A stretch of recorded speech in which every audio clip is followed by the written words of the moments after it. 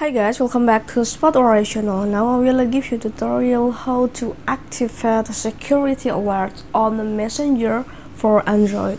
And for that I want to ask you, how are you guys? So you don't miss so far our videos, don't forget to like, share and subscribe to the channel. And let's go to the started.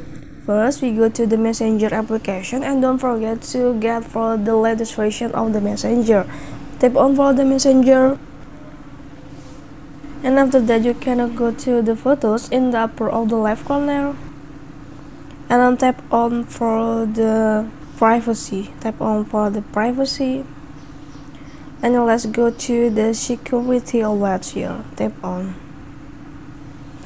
And how to make the security alert is a have a on version and you can go to the tap on security alerts here until has the blue one. And now you activate the security alerts and how the function of the security alert is show alert in the chat when a contact key change.